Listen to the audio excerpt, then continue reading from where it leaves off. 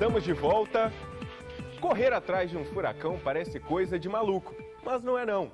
Um capixaba que mora nos Estados Unidos faz disso profissão. Calma, eu vou explicar que história é essa.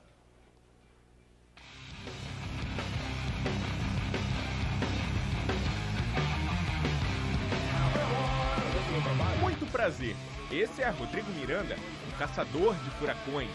Furacão tem que ser mais perto da costa, perto da costa, mais possível e longe da terra. Mas o que tudo isso tem a ver com esporte? Isso é um projeto da gente para caçar as melhores ondas que geram os furacões.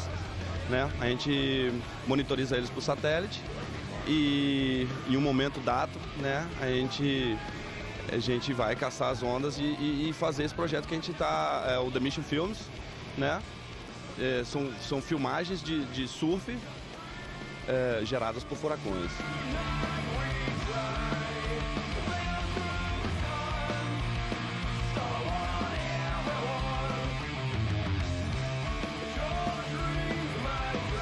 Esse capixaba de 30 anos participou no ano passado de um reality show que mostrou essas aventuras vividas pelos surfistas.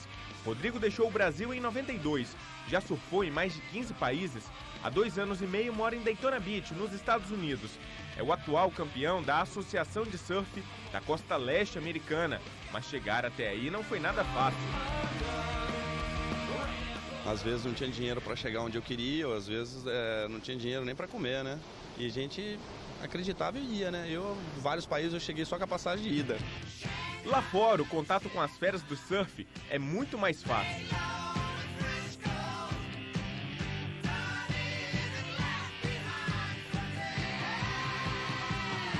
Eles é, são completamente abertos. Você senta, você conversa na praia, né? Conta história, fala das viagens deles.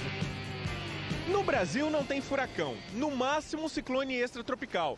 Rodrigo está de férias na casa dos pais e esse tempo nublado é um convite a cair no mar, principalmente aqui em Jacaraípe, onde tudo começou.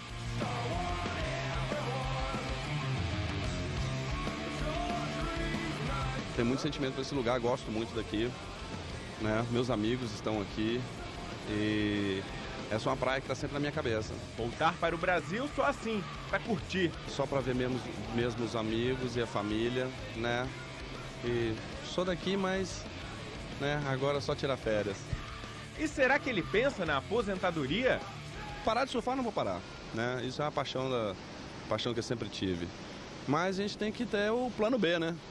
Já tem o plano B, né? Já o plano B já, já, tá, em, já tá em anativa, né? Eu sou o chefe do Salva-Vidas em Daytona Beach, né? É, especialista de salvamento para o governo americano. Um futuro de sombra e água fresca. Mas para a galera que está começando, Rodrigo deixa um recado. Não importa como, não importa onde, né? Se você quer chegar lá, tem que acreditar. Correr atrás mesmo. Tem que correr atrás, porque nada cai do céu.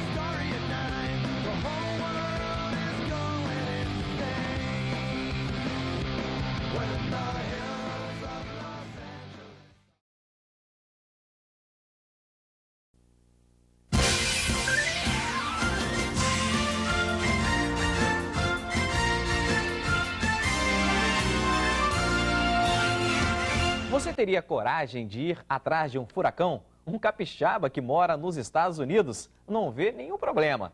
Tudo pela profissão. A matéria foi ao ar hoje no Estação Esporte.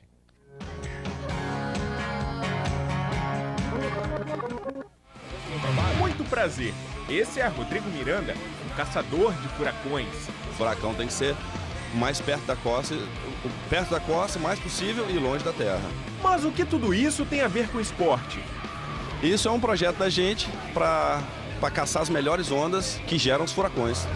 Né? A gente monitoriza eles por satélite e em um momento dado, né, a gente a gente vai caçar as ondas e, e, e fazer esse projeto que a gente está, é, o The Mission Films, né? É, são, são filmagens de, de surf é, geradas por furacões.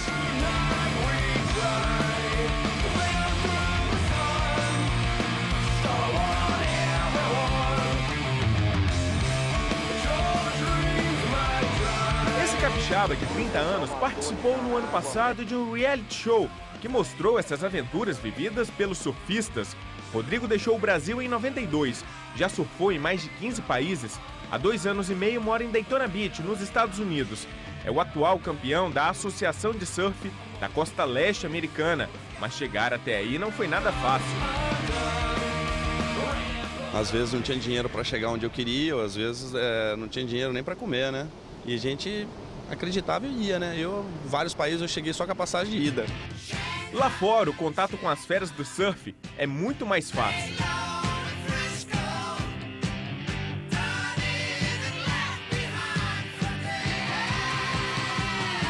Eles é, são completamente abertos. Você senta, você conversa na praia, né? Conta a história, fala das viagens deles.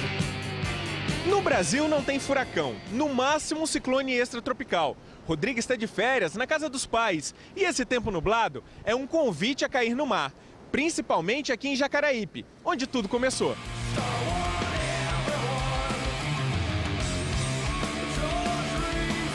Tem muito sentimento para esse lugar, gosto muito daqui.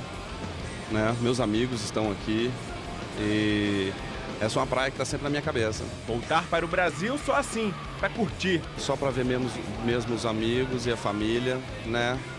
E sou daqui, mas né, agora só tirar férias. E será que ele pensa na aposentadoria? Parar de surfar não vou parar, né? Isso é uma paixão da paixão que eu sempre tive. Mas a gente tem que ter o plano B, né?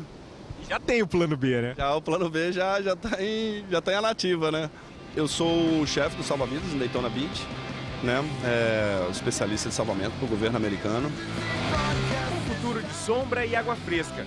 Mas para a galera que está começando, Rodrigo deixa um recado. Não importa como, não importa onde, né? Se você quer chegar lá, tem que acreditar. Correr atrás mesmo. Tem que correr atrás, porque nada cai do céu.